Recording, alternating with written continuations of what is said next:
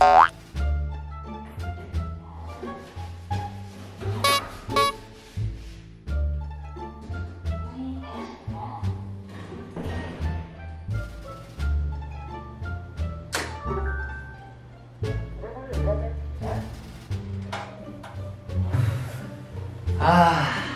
아...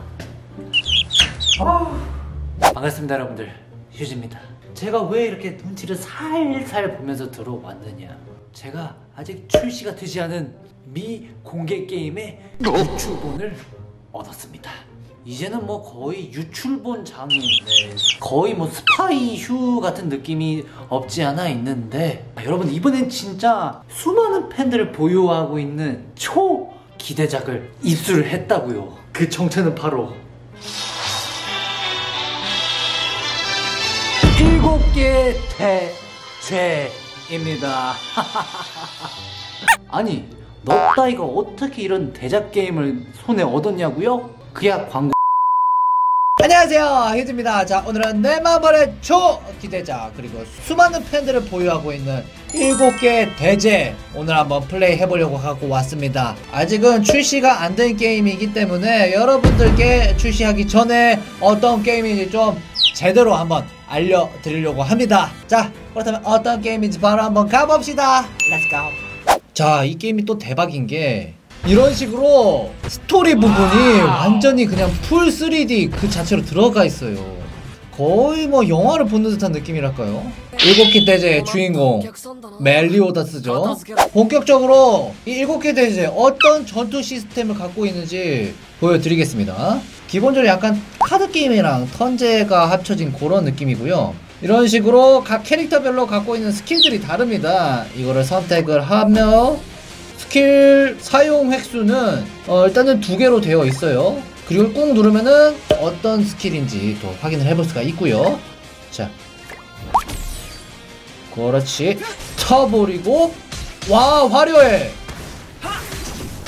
야, 기본적으로 그 애니메이션 화려한 전투 액션을 그대로 담았기 때문에 팬분들은 물론이고 일곱 개 대제 처음 접하시는 분들도 일단은 보는 맛이 훌륭해서 즐기시는데 무리가 없을 것 같아요. 이야 필살기 날린다. 와 연출 미쳤어. 자, 이 주인공 멜리오다스가 운영하는 이동식 주점인데요. 자, 지금 보시는 거와 같이 기본적으로 주점 같은 경우에도 그냥 또 넣은 게 아니라 원작의 그런 감성을 잘 살린 것 같아요. 예. 아마 이 일곱 개의 대제를 좋아하시는 팬분들이라면은 진짜 이 세계관에 있는 듯한 느낌이 들어서 굉장히 좋아하실 것 같아요. 자, 여기서 또 이제 손님분께 맥주도 서비스 한 잔 착 주고 그리고 또 이렇게 이쁜 엘리자베스 옷을 갈아입힐 수가 있고요. Wow. 또 일곱 개 대죄 마스코트라고 할 수 있는 호크의 옷도 갈아입힐 수가 있어요. 어 선택하신 의상. 아, 아, 너무 귀여운 거 봐 이거. 오, 야, 와 이거를 3D로 이렇게 구현을 해놨네. 다양한 마을이 존재하는데요. 여기를 살펴보시면은 마을 quality 또 훌륭하거든요.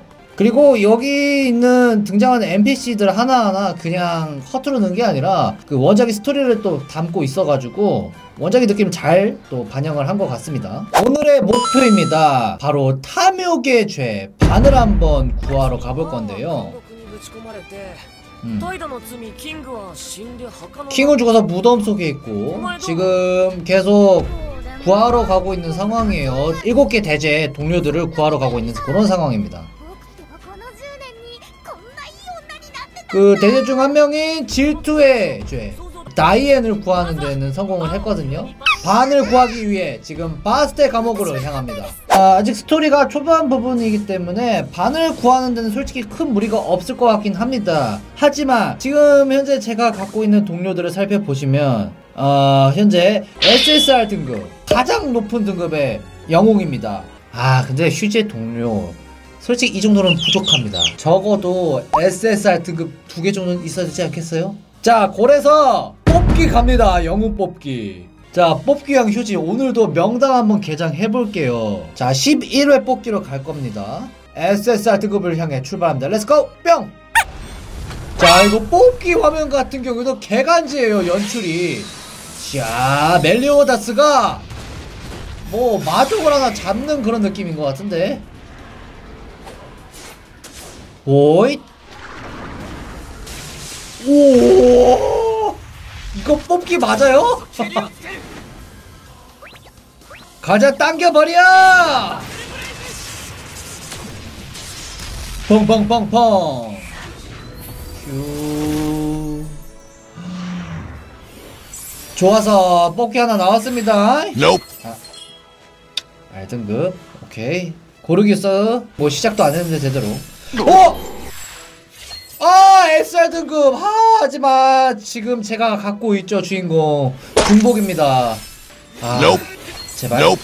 그리고 자 다음 10일에 뽑기 시 SSR 영웅 확정이거든요 SSR 무조건 뽑는다 가자 이번에는 무조건 나와야 돼